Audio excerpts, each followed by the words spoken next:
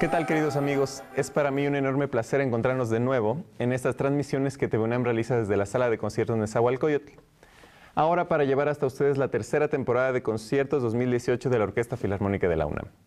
Soy Fernando San Martán y quiero darles la bienvenida a este programa especial en el que escucharemos una obra que rara vez se presenta en nuestro país, debido principalmente a su complejidad y a la enorme cantidad de recursos humanos que exige su ejecución. Me refiero a la cantata dramática Juana de Arco en la Hoguera, obra escrita por el compositor suizo Arthur Honegger, sobre el poema del mismo nombre, creado por el poeta francés Paul Claudel. En esta ocasión, la Orquesta Filarmónica de la UNAM actuará bajo la batuta del maestro Sylvain Gassanson, al igual que un nutrido conjunto de cantantes y actores que tendrán la responsabilidad de prestar su voz a los distintos personajes que intervienen a lo largo de la obra. La soprano Graciela Morales, quien además de participar en el prólogo, tendrá a su cargo el papel de la Virgen. La soprano también Rosario Aguilar como Santa Margarita de Antioquía, la mezzosoprano Amelia Sierra como Santa Catalina de Alejandría, el tenor Andrés Carrillo en los papeles de Heraldo I, clérigo y una voz, el tenor Gerardo Reynoso en el papel de Porcus, el bajo José Miguel Valenzuela como Heraldo II y una voz, así como actores de la compañía teatral Teatro de Ciertos Habitantes. Xochitl Galindres en el papel de Juana, Hernán del Riego como el hermano Domingo, Gastón Llanes como narrador, heraldo y sacerdote, Guillermo García Proal como heraldo y alguacil, Rodrigo Carrillo Trip en los papeles del asno y Artebus y Claudia Ríos como la madre de los barriles. Participará también la Compañía Juvenil de Danza Contemporánea de la UNAM. Contaremos además con la participación del Coro de Niños y Jóvenes Cantores de la Facultad de Música de la UNAM, el Coro del Conservatorio Nacional de Música, el Ensamble Coral Cantarte y el Ensamble Ítaca. Mención especial merece el maestro Agustín Viard, quien tendrá a cargo eh, la ejecución de las ondas Marteno. Cabe señalar que la dirección escénica correrá a cargo de Claudio Valdés Curi, la coreografía ha sido creada por Vladimir Rodríguez y el diseño de iluminación por Jesús Hernández. Juliana Vascoint ha sido la encargada de diseñar esta elaborada producción en la que contamos con el trabajo escultórico del maestro Javier Marín. ¿Ve usted a lo que me refería al inicio de este comentario cuando señalaba la complejidad que entraña la producción de esta obra? Pero bueno, como su nombre lo indica, el personaje principal de este drama es la heroína francesa Juana de Arco, personaje emblemático de la historia de Francia. Y quisiera comenzar por recordar que en el atardecer del 30 de mayo de 1431, a las aguas del río Sena, que atravesaban la ciudad francesa de Rouen, fueron arrojados los restos de los huesos calcinados de esta admirable mujer, quien a los 19 años había ardido en la hoguera levantada en la plaza vieja del mercado de esa ciudad, acusada de blasfemia contra Dios y los santos, de mentir, de incurrir en apostasía y además de ser sospechosa de herejía. Es precisamente este atroz acontecimiento el que sirvió de eje al poeta Paul Claudel para escribir el poema en el cual se basaría Honegger para crear la obra que escucharemos.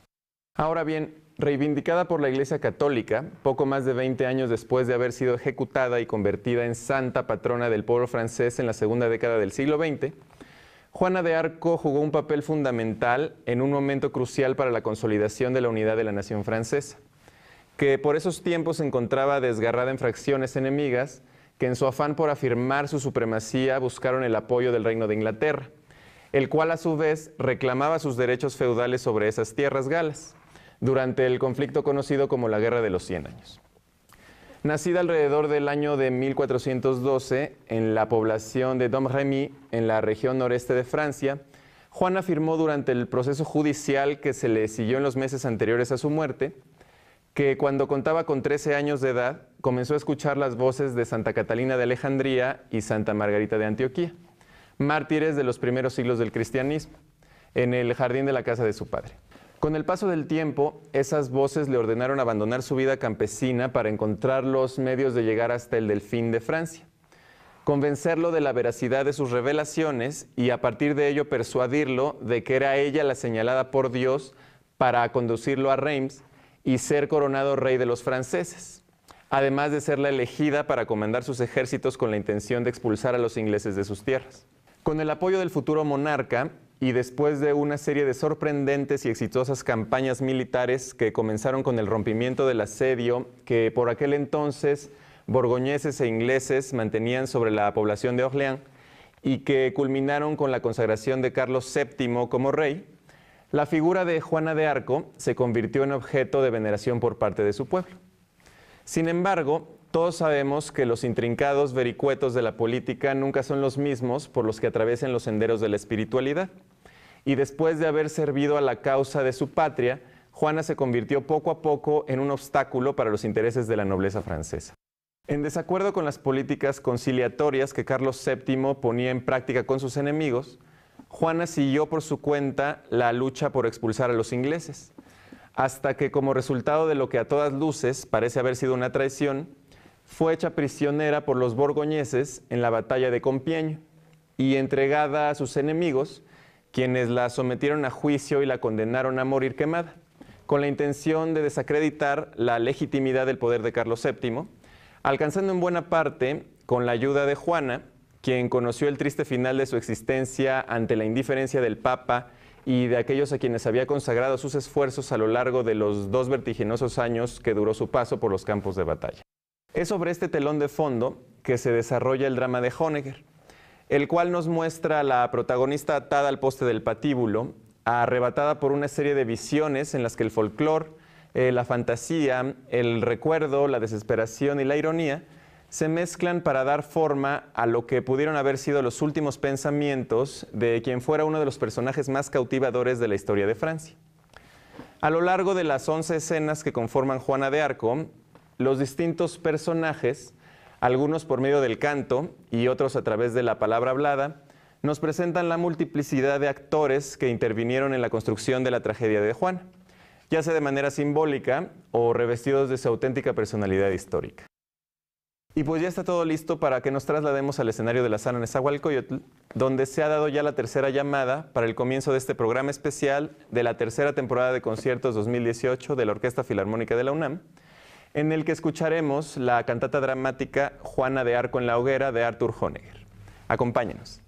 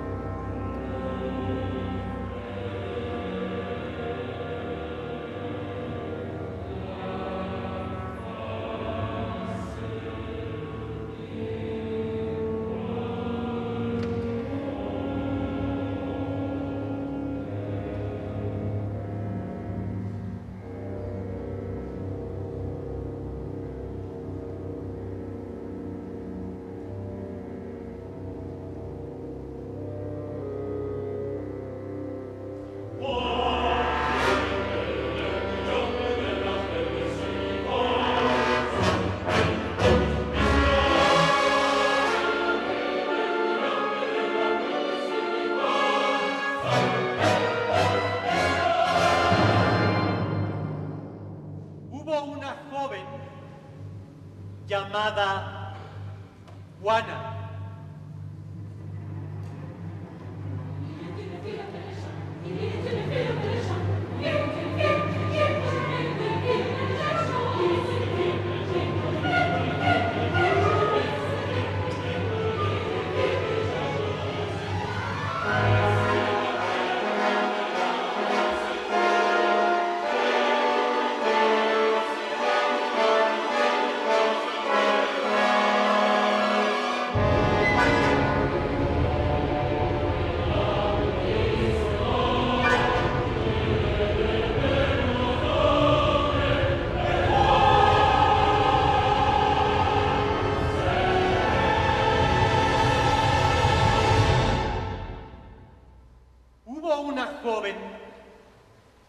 llamada Juana.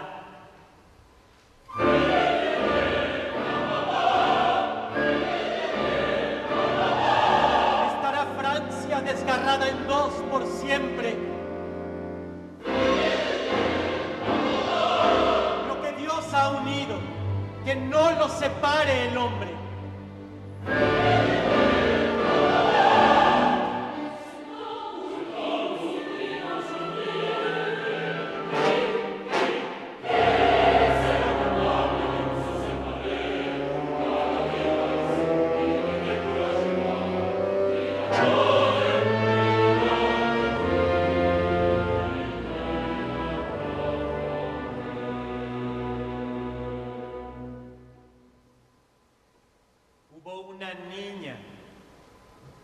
Llamada Juana.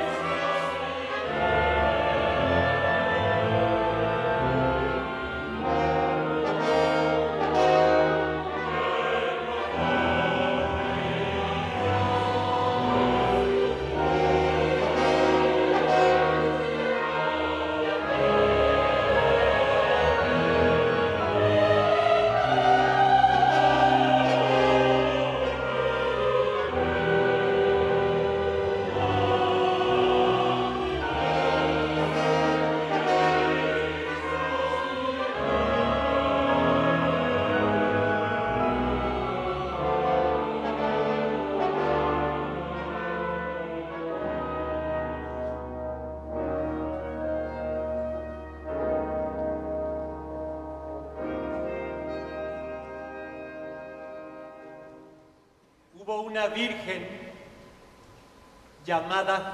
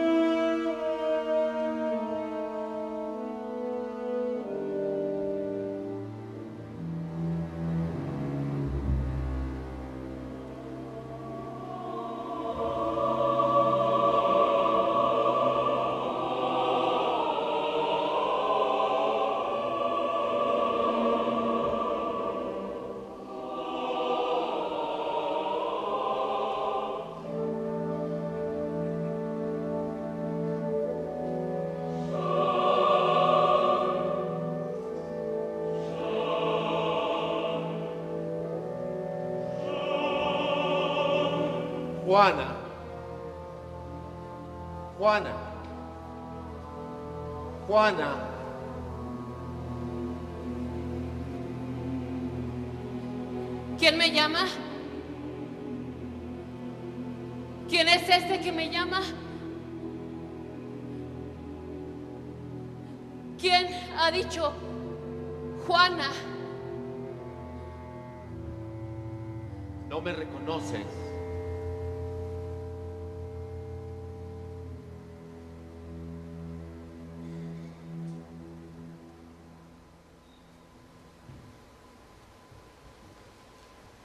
Reconozco el hábito de Dominico,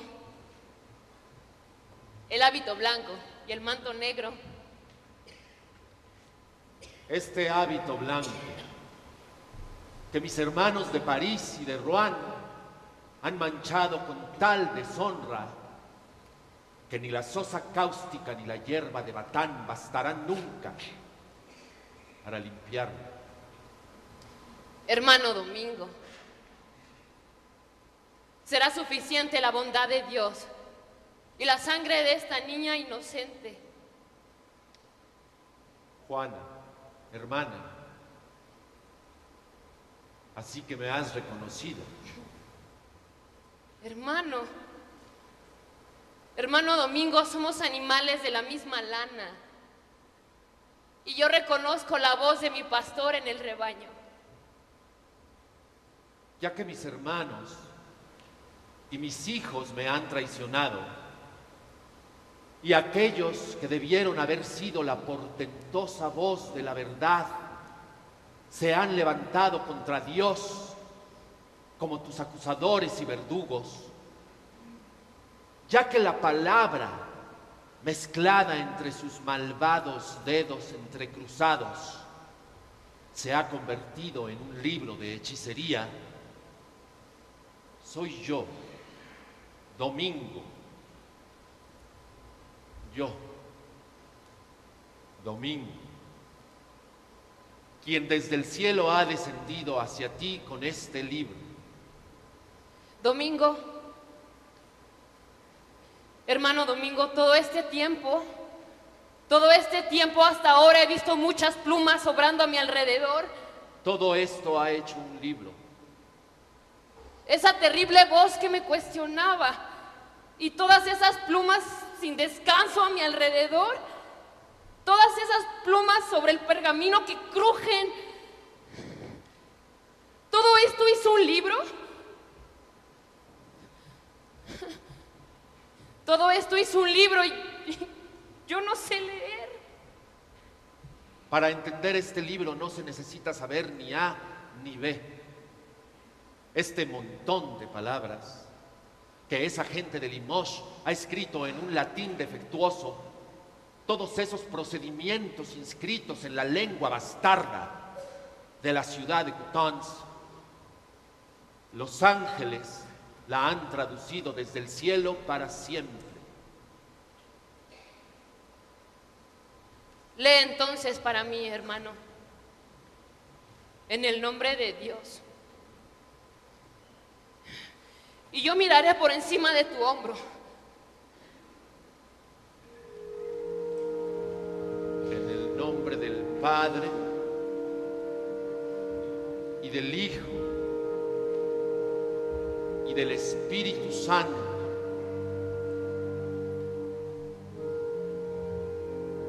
Que así sea.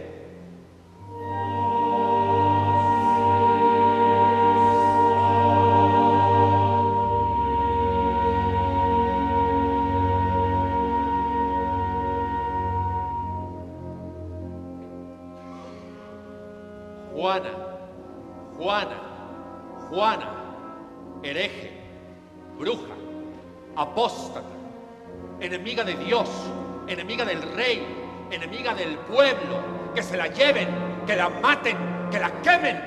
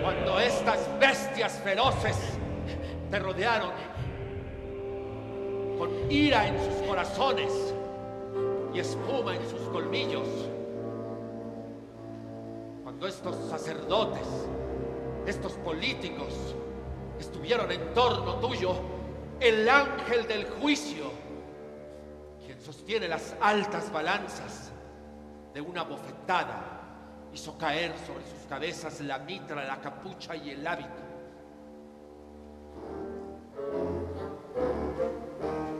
Y ahí están, disfrazados de tonsurados, que reciban el hábito que les corresponde. Es necesario que Juana, como otrora sus hermanas en la arena de Roma, sea entregada a las bestias. La elegida de Dios, la santa de Dios. No, Juana, no son sacerdotes, no son hombres, son bestias quienes te habrán de juzgar.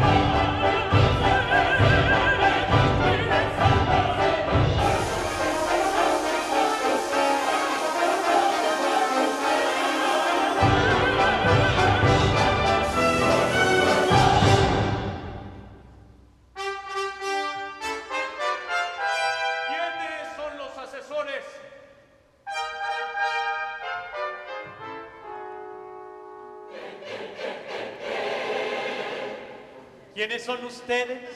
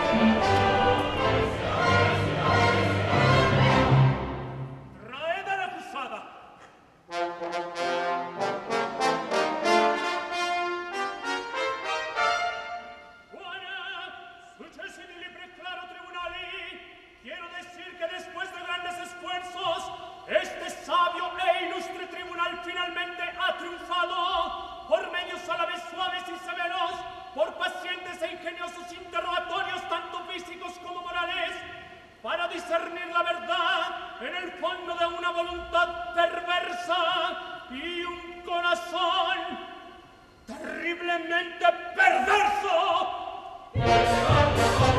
¡Silencio! Y ahora le complace al rey de Francia y de Inglaterra, nuestro soberano legítimo, tocarte aquí para escuchar tu justa sentencia.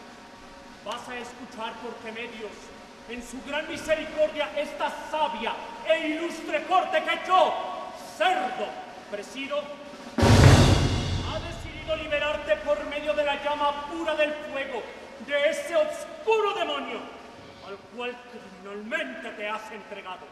Pero antes, queremos oír de nuevo de tu boca la solemne confesión que es necesaria para la seguridad de nuestras conciencias. de Terrudigas! Joana, filia nome, fatta che ne completa rispetto a noi nostri guerra, non naturali auxilio, vittoria in mani di regis nostri, evulsis et fortes exercitus aequis, in prognosissima tua versisse, traduce! Juana! Reconoces que no fue por tus propias fuerzas, ni por medios naturales, que has vencido a los ingleses? Lo confieso. Escribe, Johanna, filia nome, fatagisme confliterista tenermam fuera, de auxilio diaboli patentissimi, ala punta dissa regi nostro, et fortes exercitus eius sicu, in probrosissimam fugam versisse, traduce! ¡Juana! ¿Reconoces ha sido con la ayuda del diablo más poderoso, nuestro Señor, que tú has hecho todo esto? ¡Siéntate, imbéciles! ¡Síguete! En el nombre del diablo, Juana, ¿reconoces que es con la ayuda del diablo que tú has hecho todo esto? Yo digo. ¿Qué ella? Dice que dice que sí. Escribe que ella ha dicho que sí.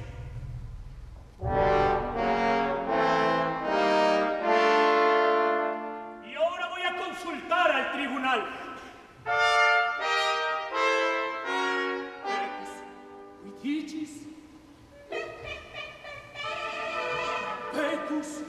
itis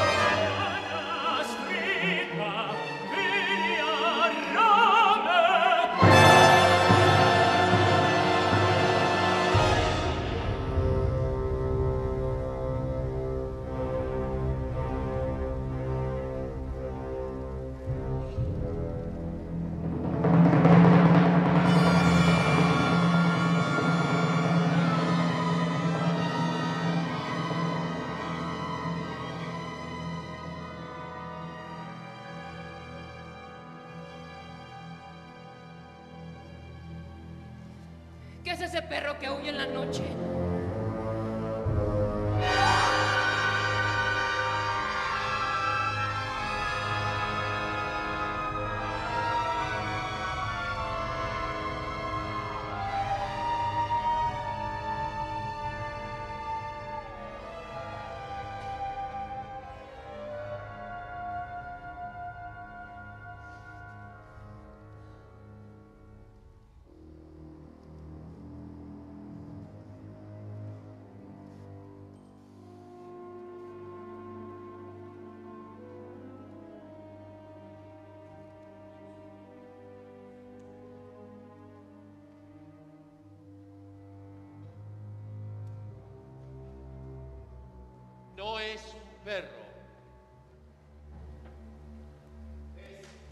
El desesperado que aúlla en soledad en las profundidades del infierno.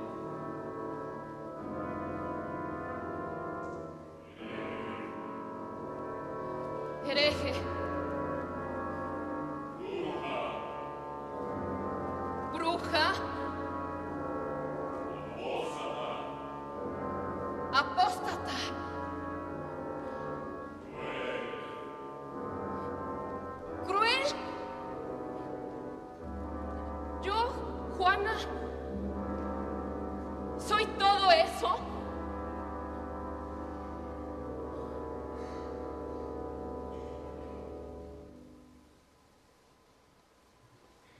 Iglesia, los sacerdotes, todo lo que es respetable, capaz y sabio en el mundo, son ellos que en una voz me condenan. Explícame, hermano Domingo, ¿qué he hecho? Léeme lo que está en el libro. Todos esos grandes hombres, esos sabios, esos doctores, Jean Midi, Malvenu, Cookpen, Tumouillet, son fervientes adoradores del diablo, pero no quieren creer en Dios. Para ellos el diablo es una certeza, los ángeles una estupidez. El diablo que tú despreciaste podría haber ayudado. Los ángeles que invocaste no hicieron nada. Y criminalmente de ambos lados te condenaron la una y la otra mano. Tal es la sabiduría de la Sorbona, tales esos sabios que arrugan la nariz frente al Papa. Pero yo, la pobre pastorcilla de Dojemí, ¿cómo he llegado hasta aquí? Llegaste hasta aquí por el barajeo de un juego de cartas que un rey loco inventó. ¿Qué es eso del juego de cartas? Te lo van a explicar.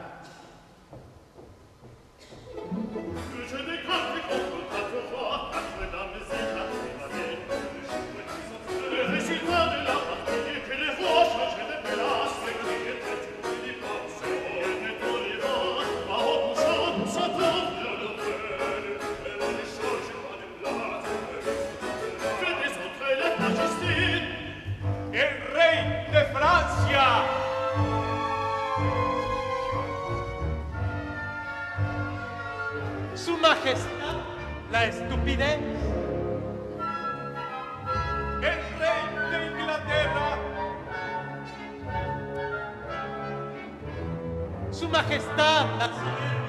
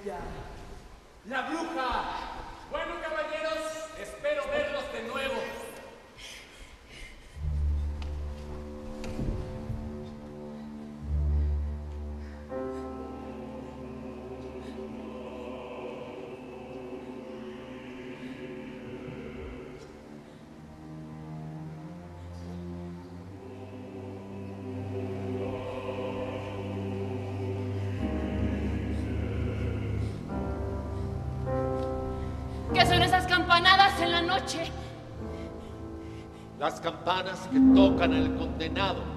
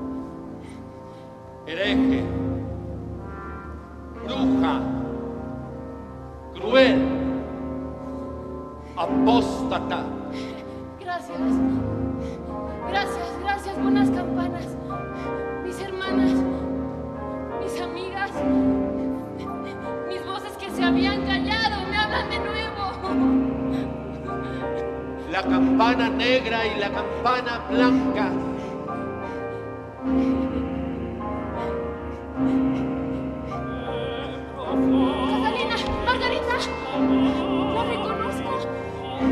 Catalina que dice la profundis y Margarita, azul y blanca en el cielo que dice, papá.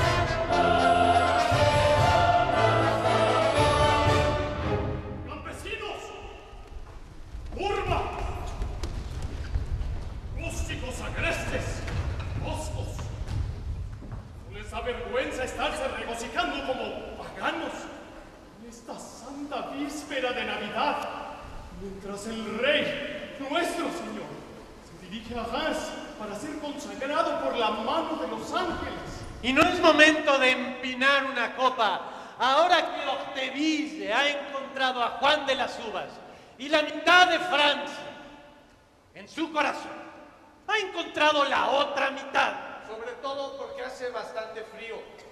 Y de seguro nos vamos a quedar congelados mientras esperamos. Un buen vino, un bailecito, a nadie le hace daño. El bosque mismo, para prepararse para los misterios de esta noche santa, se ha cubierto la cabeza con un velo blanco. Y ustedes preparen sus corazones para los misterios que se producirán. ¡Perro! ¡Ah, Perro! ¿Ves algo? Es perro que lo han mandado arriba a ver. ¡Veo una lucecita que brilla! ¡El rey! ¡El rey de Francia! Vamos, hijos míos, vengan a mi alrededor y repitamos juntos este hermoso y antiguo himno en latín puro que les enseñé. La tierra ha extendido una gran alfombra bajo los pies del rey, nuestro Señor. Y nosotros, desde el río Loa hasta Hans, debemos extender una gran alfombra de oraciones.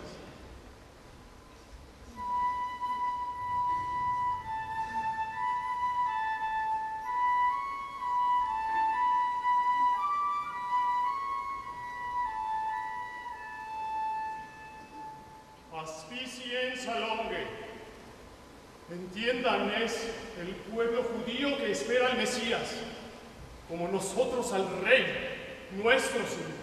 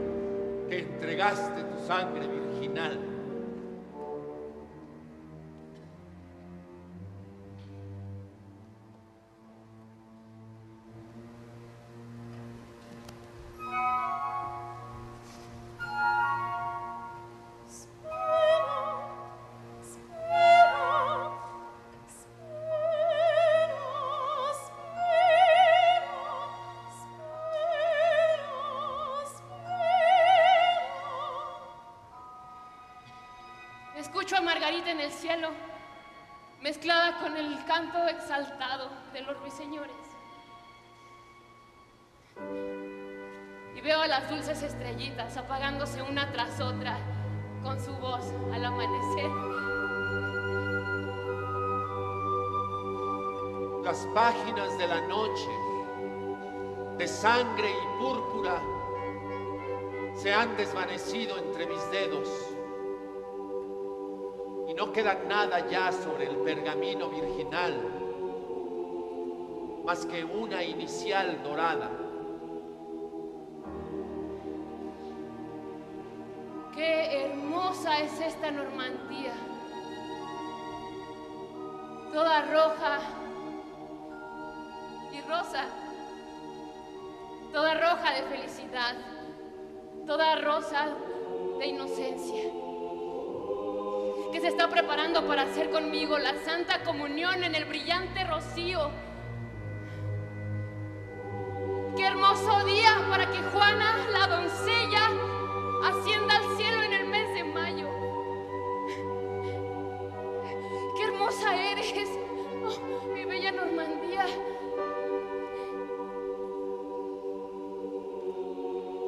Pero ¿qué dirías, hermano Margarita y yo pudiéramos hablarte de nuestra Lorena? Habla. Sé que hay cosas que una pequeña niña puede explicarme a mí.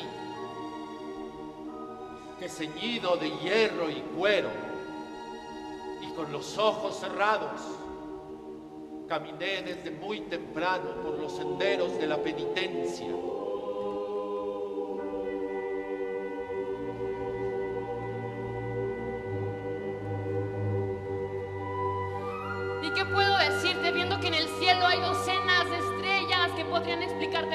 Que yo? Cuéntame de tu espada. ¿Es verdad que encontraste esa célebre espada ante la cual huyeron ingleses y borgoñones en una capilla en ruinas? ¿No? No fue en una capilla en ruinas. Fue en Don Gemí donde me la dieron. Mi bandera en la mano izquierda. Mi espada en la mano derecha. Ah. ¿Quién se me hubiera resistido? Jesús. María.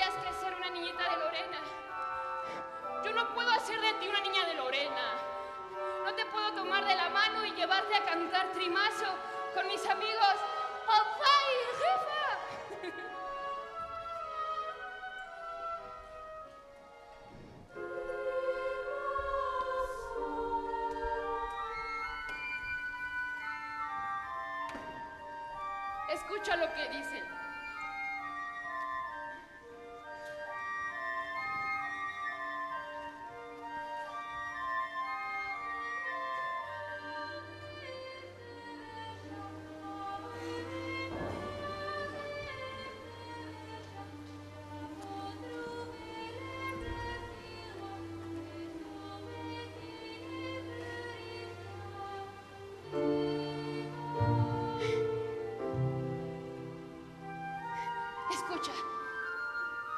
Escucha.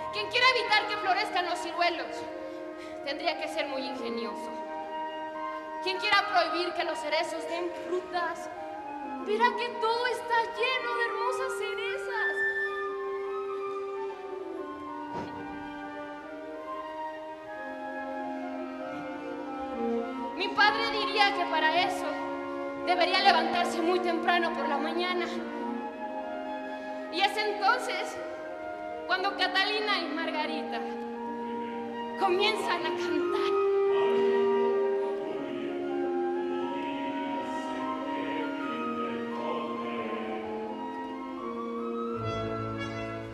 Y cuando Juana en el mes de mayo monte en su caballo de batalla, aquel que quiera evitar que Francia se levante tendría que ser muy listo. Escuchas esas cadenas que se quiebran y se rompen por todos lados. Estas cadenas que tengo en mis manos me hacen reír. No las tendré por siempre, pero ya hemos visto lo que Juana puede hacer con una espada.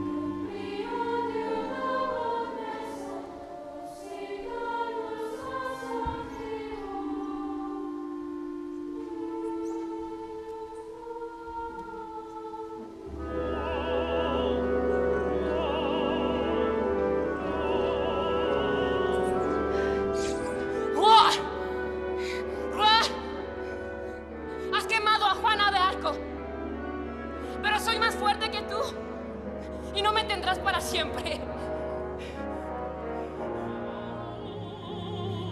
Existe la esperanza, que es lo más fuerte.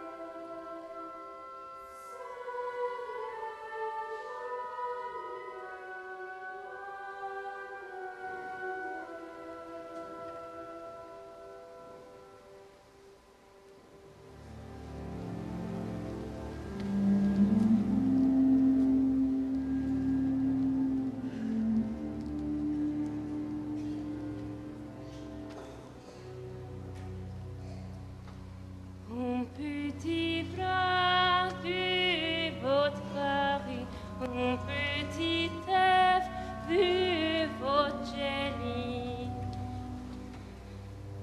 Una pequeña lágrima para Juana. Un pequeño pensamiento para Juana. Una pequeña oración para Juana.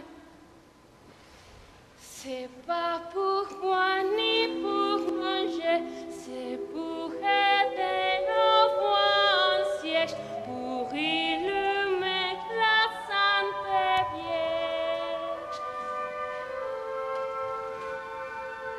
yo quien hará el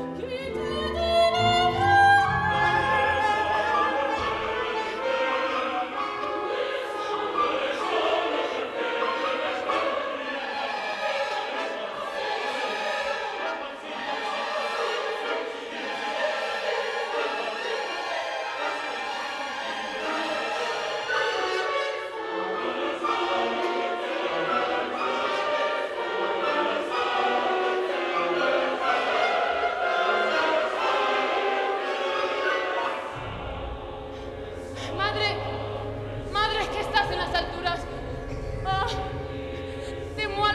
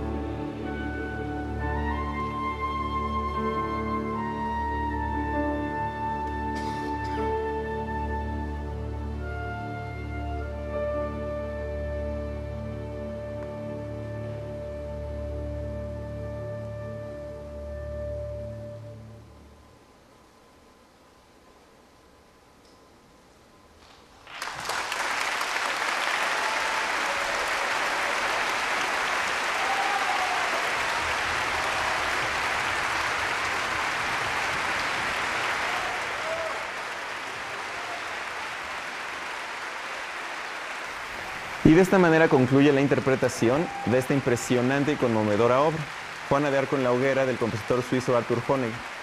En la interpretación que la Orquesta Filarmónica de la UNAM ha llevado a cabo en conjunto con el coro de niños y jóvenes cantores de la Facultad de Música de la UNAM, el coro del Conservatorio Nacional de Música, el ensamble coral Cantarte y el ensamble Ítaca. Además de la participación de las sopranos Graciela Morales y Rosario Aguilar, la mezzosoprano Amelia Sierra, los tenores Andrés Carrillo y Gerardo Reynoso y el bajo José Miguel Valenzuela, así como la de actores de la compañía teatral Teatro de Ciertos Habitantes, Xochitl Galindres, Hernán del Riego, Gastón Llanes, Guillermo García Proal, Rodrigo Carrillo Trip y Claudia Ríos. Hemos contado también con la colaboración de la Compañía Juvenil de Danza Contemporánea de la UNAM y en la ejecución de las ondas Marte No con la participación del maestro Agustín Díaz. Todos ellos bajo la dirección musical del maestro Silván Gasanzón. Y por su parte, la dirección escénica ha corrido a cargo de Claudio Valdescuri, la coreografía ha sido creación de Vladimir Rodríguez y el diseño de iluminación de Jesús Hernández. Juliana Vascoin ha sido la encargada del diseño de producción y el trabajo escultórico del maestro Javier Marín.